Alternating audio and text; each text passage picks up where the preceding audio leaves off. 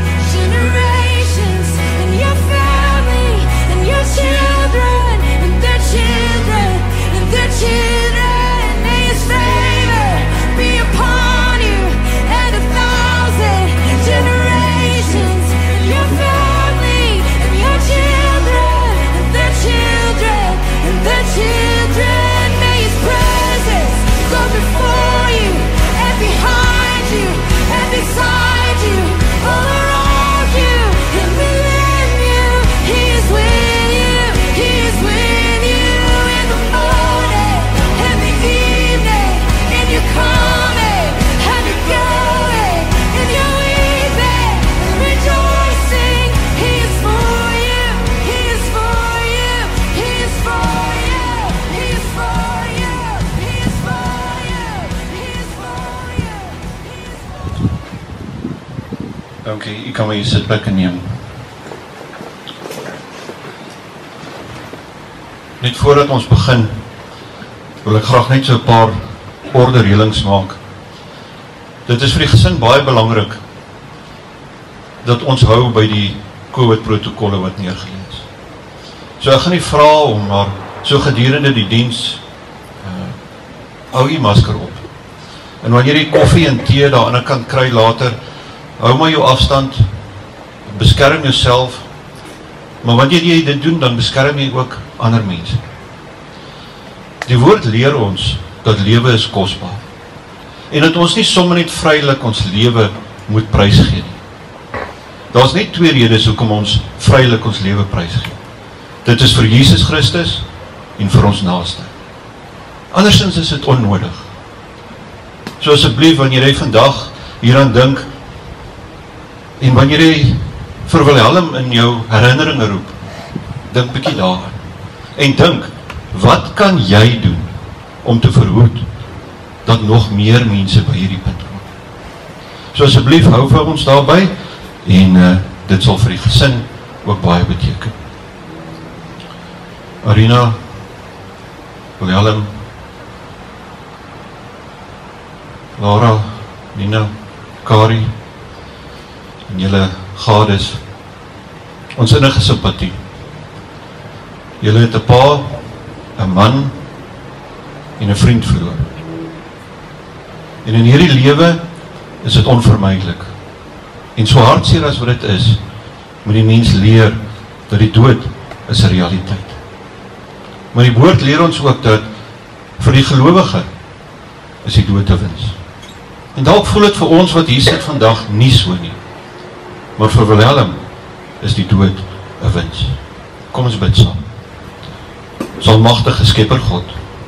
Dankie Here Jesus dat ons vandag die lewe van 'n man, 'n pa, 'n broer, 'n familielid en 'n vriend kan vier.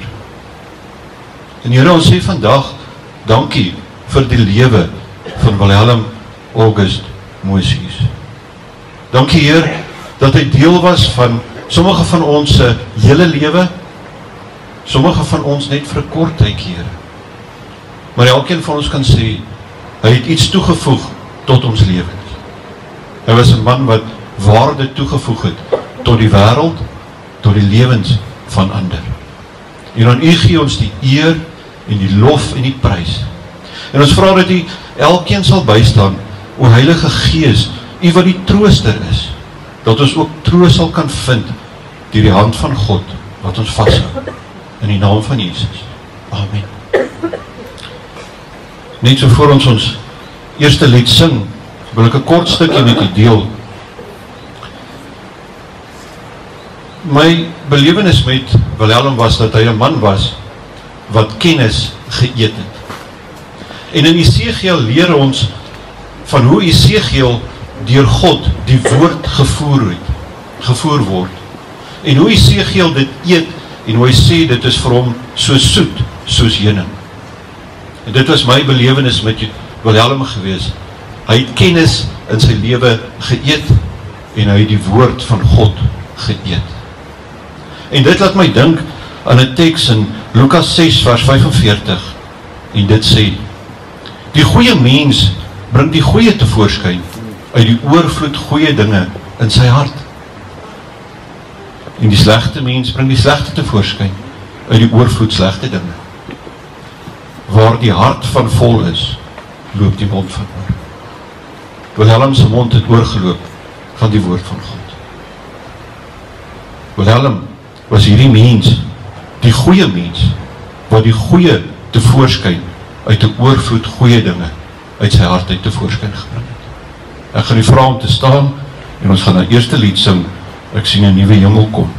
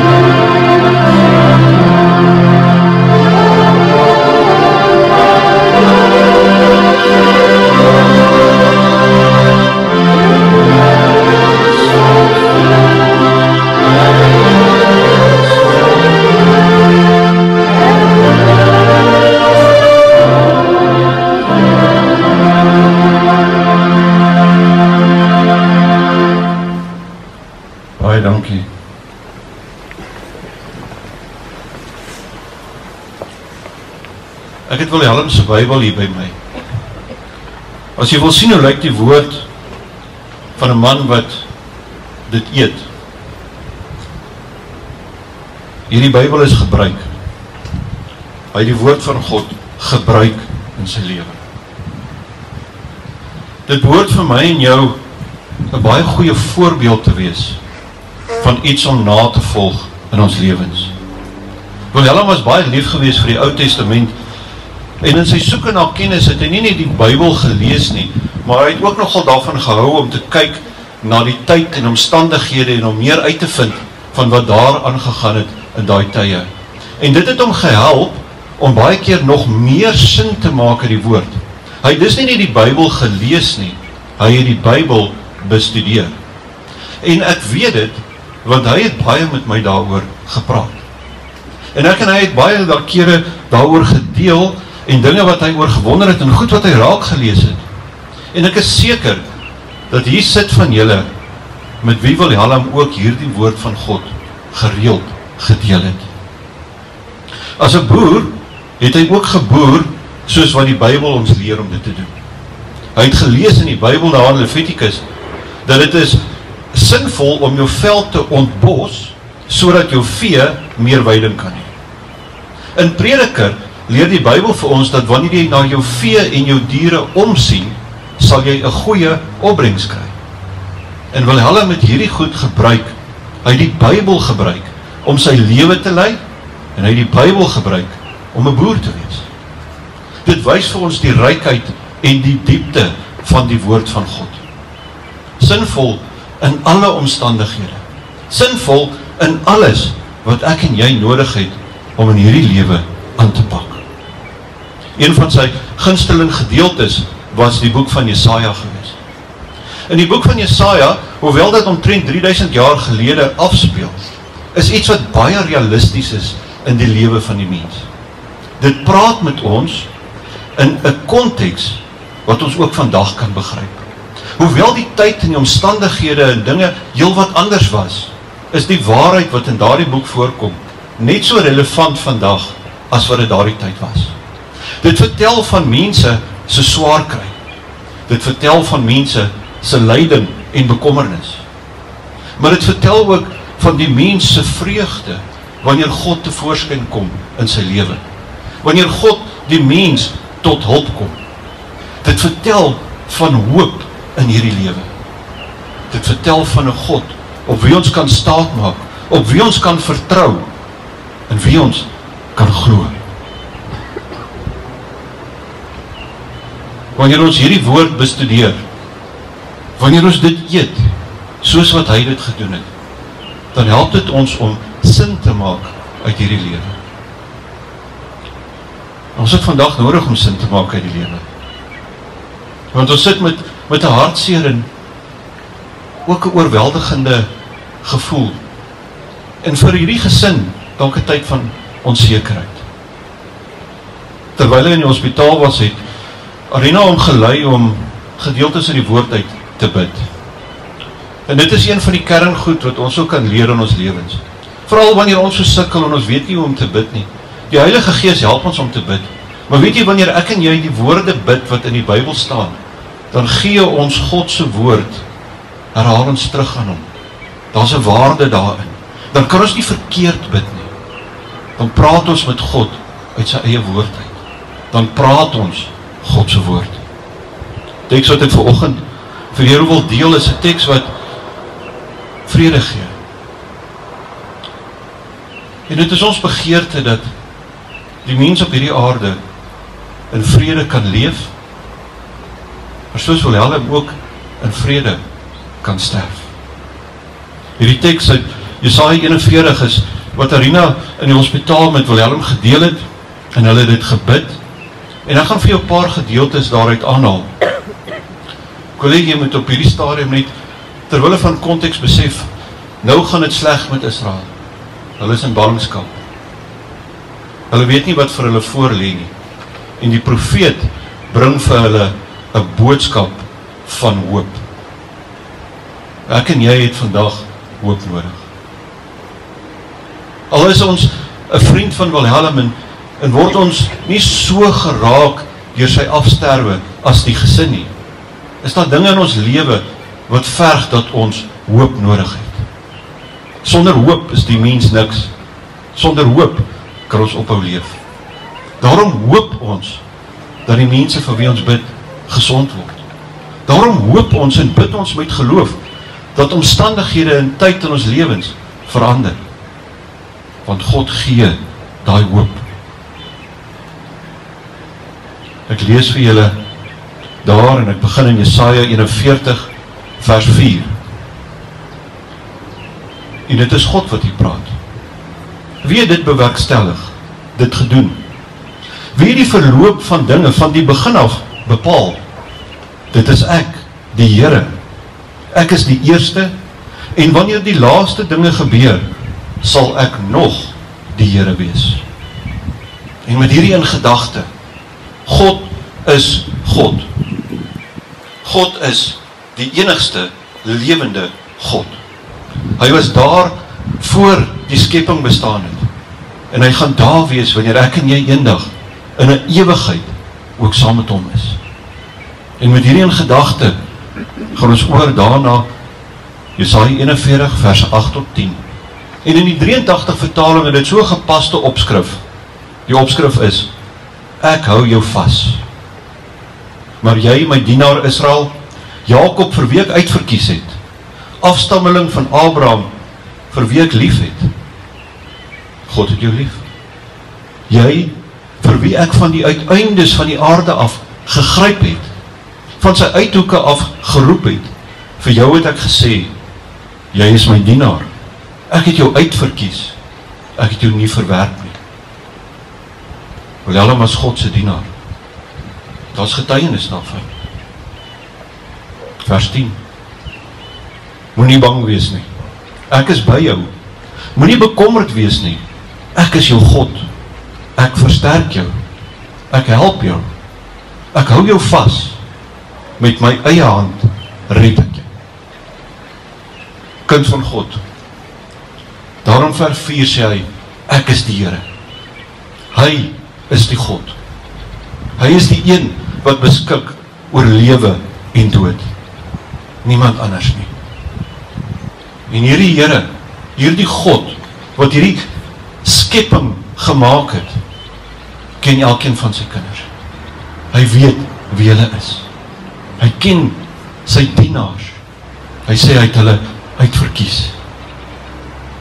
Hy hou jou vas as jy moeg en moedeloos is. Hy kom jou tot hulp. Hierdie woord sê hy steek sy hand uit na jou toe. Met sy eie hand kom red hy jou wanneer jy hom daarom vra. Toe God hierdie woorde vir die profeet gee, is Israel op 'n plek waar hulle moeg en moedeloos is. Van julle is moeg en moedeloos vandag. Ons lewe is nie altyd maanskyn en rose nie. Die lewe van die gelowige is nie gewaarborg om vry te wees van swaar kry en stryd nie. Die lewe van die gelowige is gewaarborg dat daar is 'n God in jou lewe wat by jou is, wat jou vashou, wat jou beskerm, wat vir jou sê moenie bang wees nie. Moenie vrees nie. As jy dalk vandag oorweldig voel. Dis oukei. Okay. Ons voel soms oorweldig. Soms voel die lewe vir ons net te veel. Dan kan hierdie woorde hier in Jesaja na ons te voorskyn kom. Moenie bang wees nie. Wil hulle met dit begryp? Ek is by jou. Moenie bekommerd wees nie, ek is jou God. Ek versterk jou, ek help jou. Ek hou jou vas en met my eie hand red ek jou. Wil hulle met begryp wat dit is om 'n kind van God te wees? Wilhelm was hier op aarde 'n kind van God en vandag daar waar hy homself bevind. En hy bevind hom daar uit sy eie getuienis maar ook sy lewe, sy vrug was 'n getuienis dat hy 'n kind van God was. Kan vreesloos leef. Arena. Julle toekoms lyk onseker. Daar's besluite wat geneem moet word, dinge waaraan jy nog nie gedink het nie, nie tyd gehad het om aan te dink nie. Moenie bang wees nie. Die onsekerheid van die lewe is daar maar God se teenwoordigheid ook. Hoekom moet julle nie bang wees nie? Want God sê ek is by jou. Moenie bekommerd wees nie. God is by sy kinders. Dit voel nie altyd vir ons so nie. Partykeer beleef ons tye waar ons dink maar maar Here, waar is U? God verseker ons, die Heilige Gees is die waarborg. Hy is by ons. Hy's by sy kinders. Wanneer hulle besluite moet neem, vra die Here, laat hy hulle lei. En ek verseker julle, hy sal dit doen in sy lewe. Hoekom? Want hy sê soos wat hy vir Wilhelm was, sê hy vir julle, ek is jou God. Ek versterk jou. Ek help jou. Daar is net een lewende God. En wanneer ons swak is, dan is hy sterk in ons lewens. Wanneer ons sterk is, dan dink ons dalk, miskien het ons hom nie nodig nie. Maar hy's nog steeds daar. Gister was dit Hemelvaart. Die waarborg wat vir ons sê, Jesus Christus sit op die troon langs God. Jesus ken sy kinders. En terwyl hy daar sit, doen hy voorspraak vir elkeen van sy kinders. Soms maak ons foute. En ek is seker en ek het met Wilhelm gesels, hy het ook foute gemaak in sy lewe. Hy het ook soms geval, nes ek en jy. Maar wanneer God sê ek is by jou, dan sê hy, dis oukei. Okay. Want as jy 'n fout maak, dan help ek jou. Dan staan ek jou by in jou lewe want hy sê ek hou jou vas. Met my eie hand red ek jou. So moeilik en wat en onbegryplik as wat dit miskien vir ons is vanoggend. God het vir Wilhelm vasgehou. God het hom gered. Hy het hom nie gered soos wat ons gedink het hy moet nie. Ons wou gehad het hy moet daar opstaan en leef. Maar God het hom gered. God het hom gered uit die plek waar hy homself daar in die hospitaal bevind het. Maar meer as dit, God het vir Wilhelm gered die dag toe hy sy hart en lewe vir hom gegee het. Toe Wilhelm besluit het verskoon my. Toe Wilhelm besluit het ek wil 'n kind van God wees. Toe het Wilhelm reeds gesterf vir homself gesterf vir hierdie wêreld gesterf. Van toe af is hy 'n kind van God. Van toe af hou God hom vas. En van toe af al het hy foute gemaak en dinge soms verkeerd gedoen, het God hom met sy eie hand opgetel. Het God hom gered. Hier is ook vir ons 'n boodskap in. Vir julle wat die vriende is, die naby mense aan Arena en hierdie kinders se lewens. Hoe red God ons met sy eie hand? Hy gebruik ander mense. Hy roep ons almal om 'n gesin soos hierdie in 'n tyd soos hierdie by te staan. God stuur nie hemelwesens en engele om hulle te kom vertroos nie. Hy stuur julle. Hy stuur ons om met hierdie familie tyd te spandeer, om hulle by te staan en hulle te help. Om hulle so ver as wat ons kan in hierdie lewe te ondersteun totdat hulle sterk genoeg is om weer op hulle eie te kan staan. Hy verwag dit van ons medegelowiges.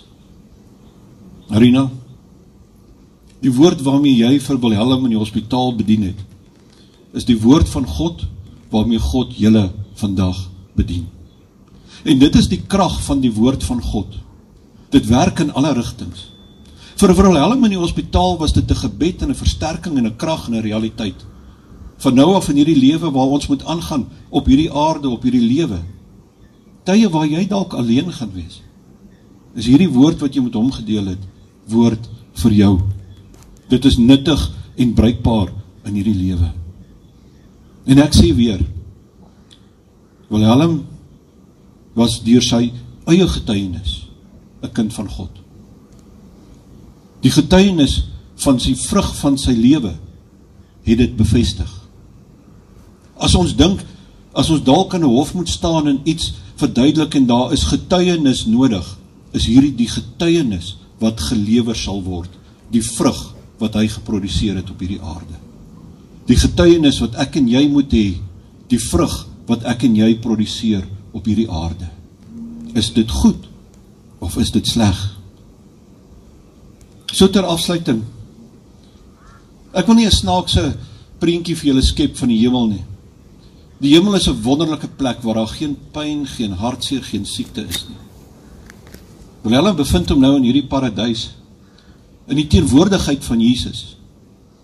En hier in die nag het ek gedink hy was so lief om Jesaja te lees. Miskien het hy vandag die kans om met hom te gesels. Dalk kan hy hierdie mense wat hy van gelees het hier in hierdie boek in hierdie Bybel en hierdie woord van God daai dalk die kans om nou met hulle te praat. En ek sluit af met Jesaja 12 vers 2. Boodskap vir ons elkeen. God is my redder. Ek vertrou op hom. Ek is nie meer bang nie. Die Here my God is my krag en my beskerming. Hy is my redder. Dit was hy vir Wilhelm en dit is hy vir ons. Kom ons bid saam. Almagtige God.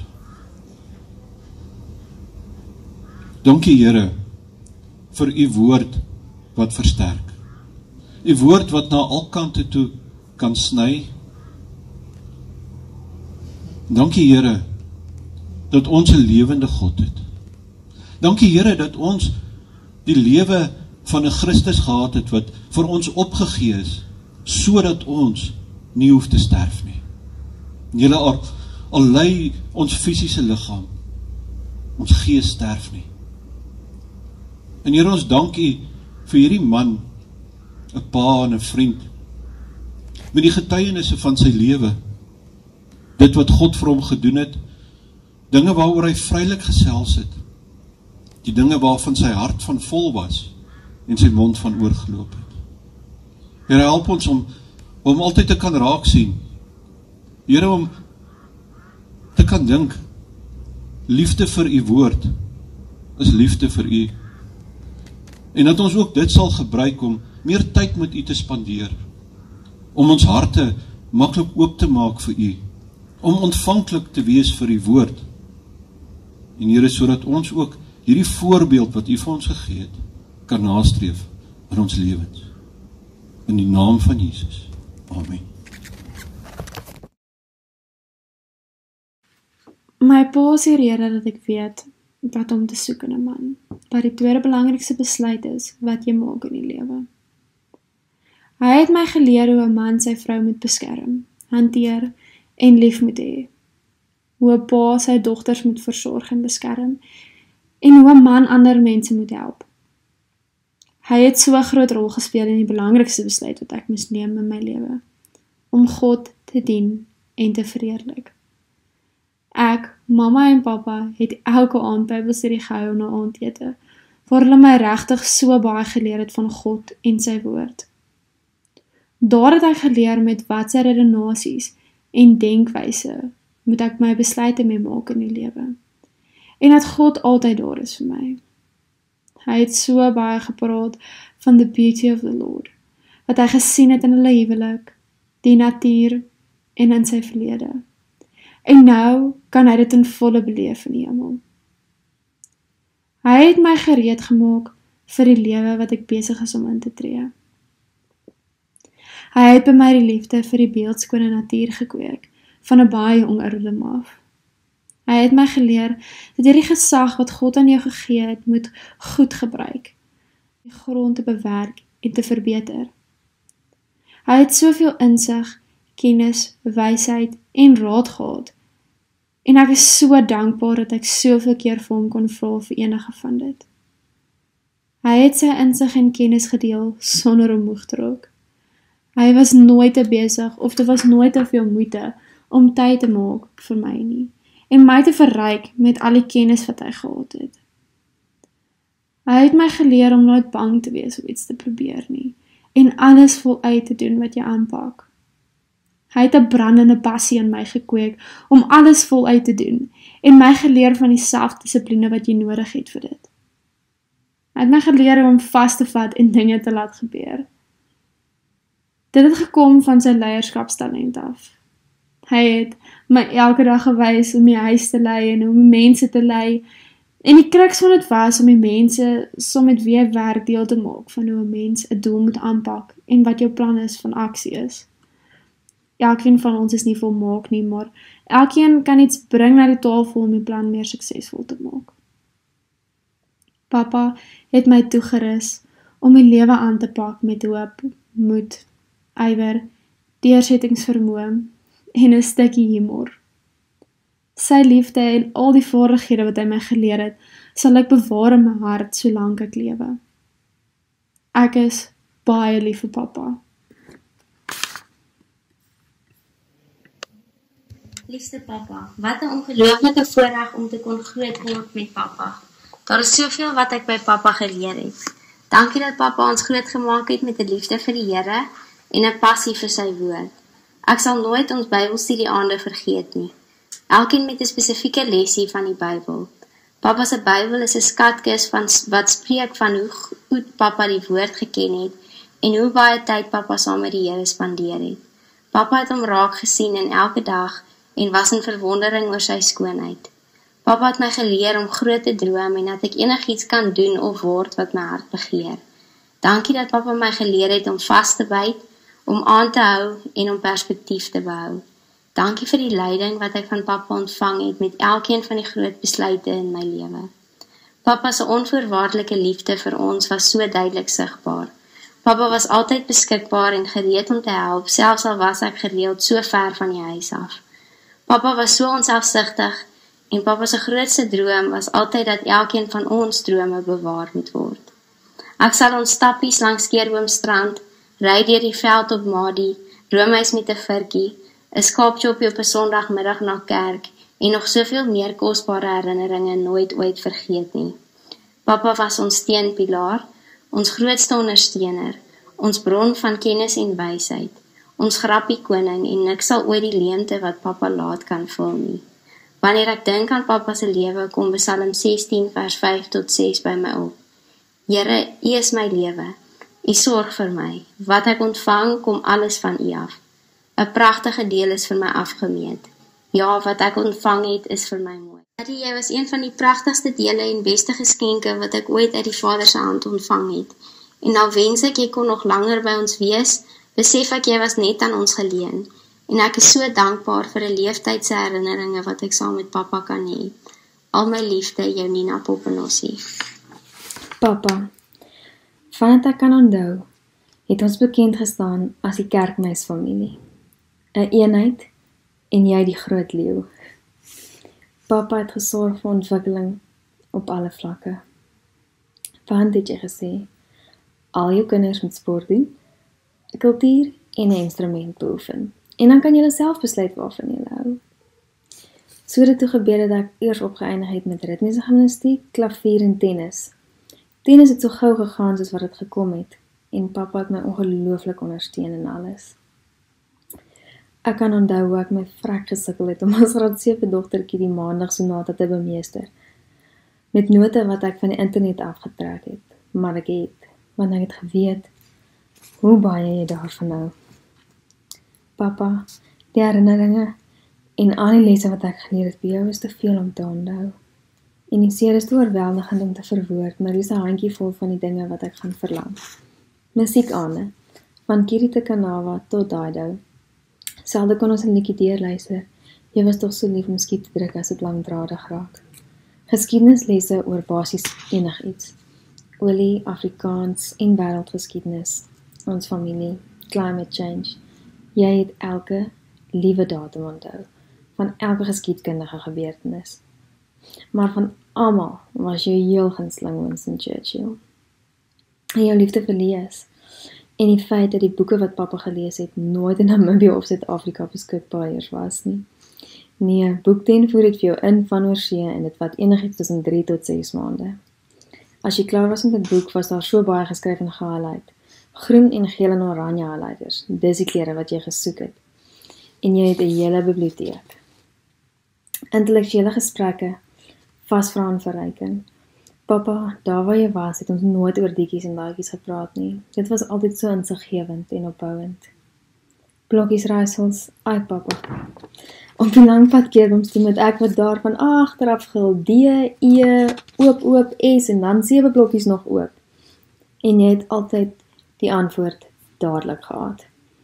Koop vir my die heel moeilikste blokkies raaisel en Sudoku en ook die landbou beekblad, het jy altyd gesê jou ongelooflike Bybelkennis en persoonlike verhouding met God. Pappa, jy het so baie ons herinner dat God se guns op ons rus. Dat dit op jou ma gerus het en so ook nou op ons gesin is. En jy het altyd gesê die Here het vir my die meetsnore op lieflike plekke laat val. Ek is sy oogappel.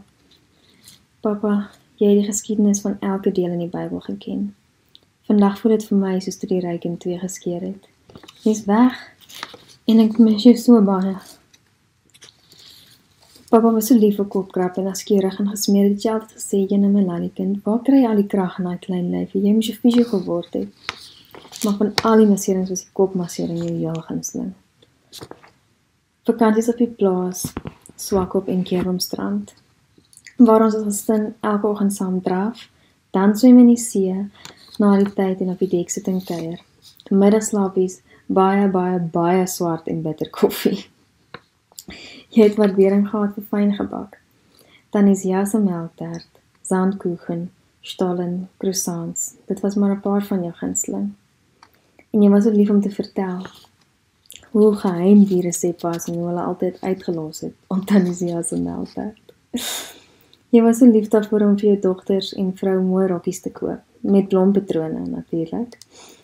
Jy het my in 'n kokon van weelde toegespin, Daddy, en ek weet regtig nie hoe ons sonder jou gaan aangaan nie.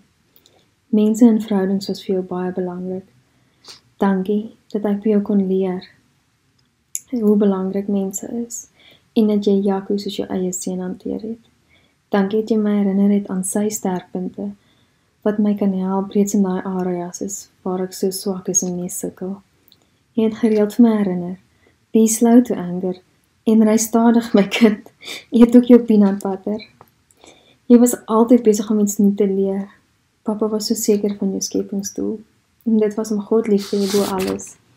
Om jou vrou en dan jou kinders lief te hê, te versorg en aan al hulle behoeftes te voorsien. Om op groot skaal te boer, 'n megaboer, om plase op te bou, te restoreer, te ontwikkel om jou gemeenskap in jou land beter te los, om 'n verskil te maak in jou gesin, dorp en land. En pappa, jy het dit absoluut geleef. Het so baie sê goed gehad. Maar wat jy my so gereeld aan herinner het is die you will never change what you tolerate. Rather remain silent and be thought a fool than open your mouth and remove all doubt. Uneasy rests the head that wears the crown. het jy altyd in so royal stem gesê. God will test you before God will promote you. Every thought must be brought under obedience of God.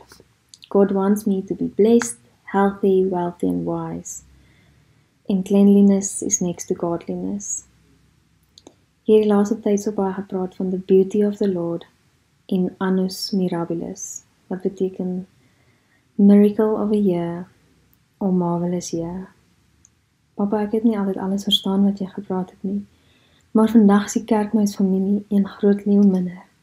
Vandag voel dit vir my of ons groot sirkel 'n klein sirkeltjie geword het, 180 grade. Jy was so baie goed, 'n bankier, 'n cattleman, 'n godsman, 'n intellektuele reus om maar 'n paar te noem. Maar van al die goed was jy my daddy en jy was my eerste liefde. Ek het 28 jaar met jou gehad en elkeen was 'n annus mirabilis.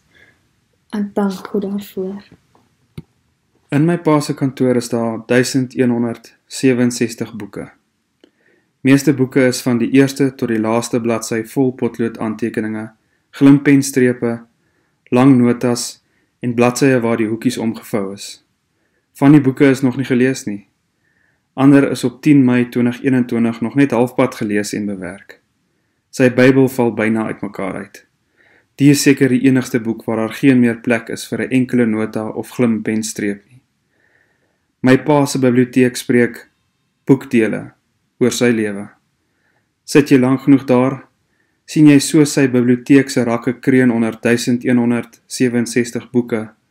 Was sy hart en lewe vol met seker bykans 1167 mense. Van ons was gelukkig. In die boek van ons lewe het hy baie geskryf, soms saggies met potlood, ander kere met 'n helder glimpen. Eens met sy karakter het hy die pragtigste kleurvolle strepe op ons bladsye getrek. Die merke in die boeke van elke familielid en vriend was betekenisvol en het met deernis rigting gegee. Soos die rakke waarop sy boeke staan, was my pa onkreukbaar. Soos meeste van sy boeke het hy rigting gewys. Al voel ek ons hoofstukke saam was te min, was hulle onverbeterlik. Hulle inhoud sal my wys hoe om hiervan af aan te skryf. My pa, die groot leeu. Mense sal nog lank van jou lees. My liefste Willem, jou aanstap na die Here op maandagooggend 10 Mei het my aan die volgende Psalm laat dink wat jou hele wese en instelling beskryf die afgelope 6 maande. Dit is Psalm 42 vers 2 tot 3. Soos 'n wildsbok smag na waterstrome, so smag ek na U o God. Ek dors na God, na die lewende God. Wanneer kan ek gaan en voor God verskyn? My woorde is min, want jou skielike leeplek het my hart uit my bors geruk. Jy het my geleer om versigtig met woorde om te gaan en daarom gaan ek net by die volgende 7 uitstaande kenmerke van jou lewe stil staan. Jou eerstens, jou brandende liefde vir jou hemelse Vader wat gekenmerk is deur 'n lewende hoop, toegewyde gebedslewe en 'n lewe wat die Vader eer. Ek haal aan uit een van die gebede wat jy geskryf het op die 28ste Mei 2014. U is die wa enigste ware God, Vader, Seun en Heilige Gees. U is die almagtige skepper van alles wat geskape is. U is die wonderbaarder, die redder van die mens, die God van tweede kansse, die God van geduld, genade, lankmoedigheid, getrouheid en baie liefde. Tweedens, jou onvoorwaardelike toegewyde liefde aan my gedurende ons huwelik van 33 jaar. Jy het my altyd eerste gestel. My behoeftes en passies was vir jou prioriteit. My belange en begeertes het voorrang geniet bo jou eie belange en begeertes.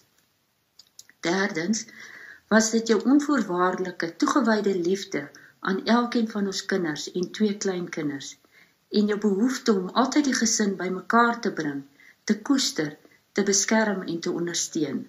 Uit hierdie liefde vir ons gesin het jou liefde uitgekring na jou familie, jou enigste sussie Anay en haar gesin en aan my sussie Cecile en haar gesin.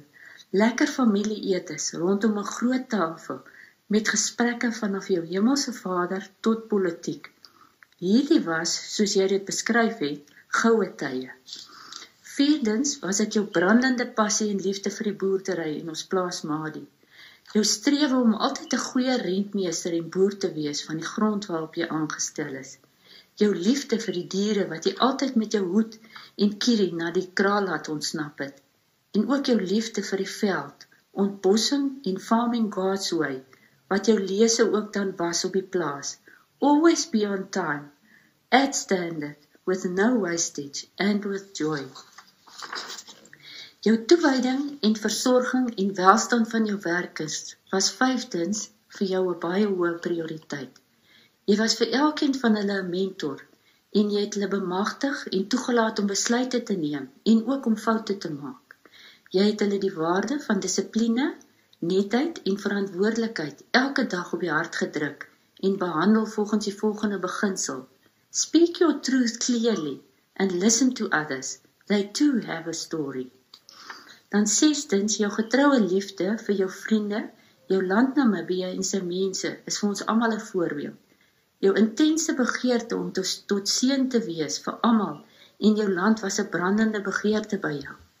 En dan sewende, jou uitsonderlike liefde vir lees, jou wye algemene kennis en die geskiedenis. Jou biblioteek in jou studeerkamer is 'n lewende bewys hiervan en 'n bron waaruit ons nog jare kan drink. Ek wil afsluit met die volgende boodskap wat ek meen vir Willem vir ons elkeen wil saamgee. En ek haal aan uit een van sy joernale waar hy die volgende gedeelte van Rick Warren geskryf het. God's dream for your life is enormous. God wants you to dream big. He wants you to use your imagination that he gave you because dreaming big honors God. It shows faith. It shows trust. You should base your dream not on what you think you can do, but on what you believe God can do. Willem, ons as gesin onderneem om bogenoemde lese, bogenoemde ons lese te maak. Tot ek jou weer sien, Willem, al my liefde, Arina. Puta 'n koningsboom is bergsering, 'n suurkrans van statuur, gewortel gedei in klip en graniet, 'n kandelaar teen die hemelste blou. Jou sap 'n dorslesser, jou skadu beskerm, jou gom 'n antiserum teen die leed van die lewe. Kirkia acuminata, gered uit die gloed. 'n Hemelse haleluja het jou met loflied begroet.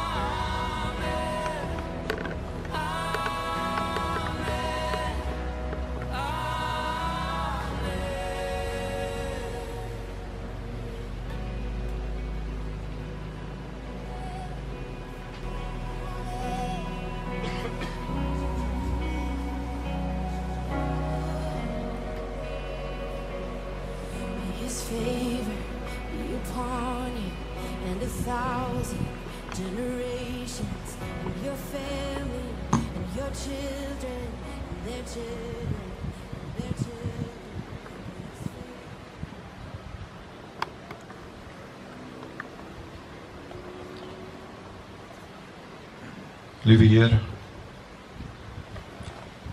Baie dankie vir hierdie getuienis. Dankie vir hierdie man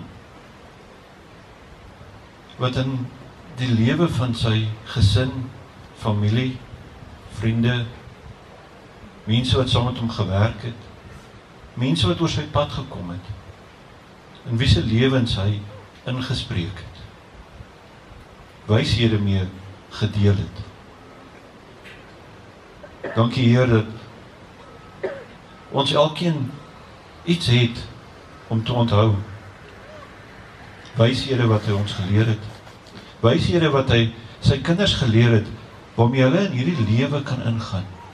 Wanneer hulle hierdie wyshede in hulle lewe toepas, Here, is daar sukses. Mense wat saam met hom gewerk het, Here, as hulle doen wat hy hulle geleer het, sal daar sukses wees, Here. En so het ons 'n herinnering. Die woord legacy. Iets wat ons agterlaat, Here. Dankie vir Wilhelm Moses. Dankie vir hoe u hom gelei het. Dankie dat hy u gevind het in sy lewe. Sy lewe gebaseer het op die woord en dit in ons lewens ingebring het. Ons eer U. Ons loof U. Ons prys U vir hierdie man in die naam van Jesus. Amen.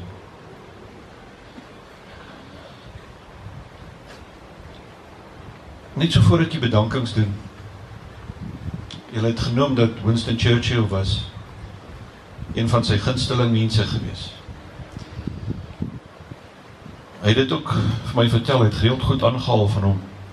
Daar's een ding wat Churchill gesê het wat miskien vir julle vandag van toepassing kan wees. Die slegste tyd van die Tweede Wêreldoorlog sê Churchill, never, never, never, never ever give up. Kan dit doen? God help ons. Die gesin het 'n hele aantal bedankings. Daar's baie mense wat hulle bygestaan het. Hulle het hulle bes probeer om almal hier te noem. Miskien as hulle jou vergeet het, moenie moenie sleg voel daaroor nie. Eerstens Dr. Johan During. Baie dankie dat jy Willem versorg het soos sy eie broer tydens sy siekte. Baie dankie aan Medikliniek Otjiwarongo se verpleegpersoneel vir die liefdevolle sorg. Dr. Willie Brouwer jou daaglikse persoonlike terugvoer in die familie, asook die deernis waarmee jy jou pasiënte versorg en opreg word opreg waardeer. Jy en die Lady Poamba personeel is 'n gedigte span. Baie dankie aan Rian en Jane Liebenberg vir julle hulp op Maidi met die boerdery en die plaaswerkers. Asook julle onskatbare ondersteuning aan elkeen van die Moses gesin. Baie dankie vir Ulse deploy vir haar rol as ons aardse engel vanaf maandagooggend. Anay en Dieter, baie dankie vir die gebruik van die krokodilplaas, die personeel vir Wilhelm se troos en dankdiens hier in die op die gras onder die kottebome. Wees verseker dat hierdie moeilike en onbekende dag is 'n besonderse geleentheid. Baie dankie aan Caroline During vir jou begeleiding met die musiek. Kyk aan om jou rond. Baie dankie aan elkeen wat vandag hier teenwoordig is. Weet jou gebede, jou boodskappe, jou oproepe, jou drukkies en jou ongelooflike ondersteuning maak die pad draagliker. Arina wil baie graag haar kinders bedank. Dankie vir julle ondersteuning, julle hulp en julle liefde in hierdie baie moeilike tyd. En dan baie dankie ook van Arina aan die Medicor personeel vir julle hulp en bystand. Dankie aan die vriende in Windhoek, Otjiwarongo in Suid-Afrika. En dankie vir die omarming van julle liefde. En baie dankie vir elkeen wat hierdie pad saam met ons in geloof en hoop stap. So ter afsluiting. Daar voor is 'n is 'n boek. En as jy ook 'n huldeblyk het, iets wat jy wil hê, wat jy wil deel met hierdie gesin, iets wat wat Helen dalk met jou gedeel het of wat jy onthou van hom, skryf dit vir hulle daar neer. Hier is nie geleentheid om elkeen die kans te gee om daaroor te praat nie. Maar gebruik die tyd en gaan skryf 'n boodskap hier in daai boek. Dan is daar koffie en tee en 'n paar eetgoed. Maar soos ons in die begin gesê het, asseblief mense, hou by ons COVID protokolle. Wees versigtig en leef met wysheid. Dink as daar een ding is wat ons in die lewe van Wilhelm uit leer is. Ouens, leef met wysheid. Maar ek sluit graag af.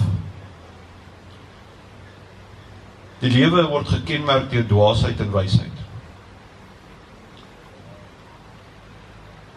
Die Bybel leer vir ons wysheid. Dis waar Wilhelm se wysheid vandaan gekom het. Gaan kry ook vir jou wysheid hieruit. Jy kan nie sien hierdie Bybel is gebruik. Wilhelm het gesê hier's min plek in hom oor, dit waar. Leef wys. Gebruik hierdie man se lewe as 'n getuienis. Leef wys.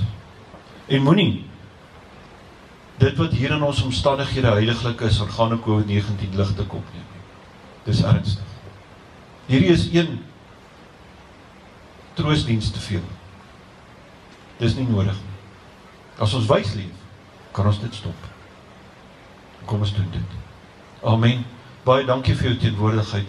Daar asseblief die boek en dan kan julle die oggend geniet. Ons gaan net die gesin die geleentheid gee, gaan julle vra om op te staan sodat die gesin kan uitstap.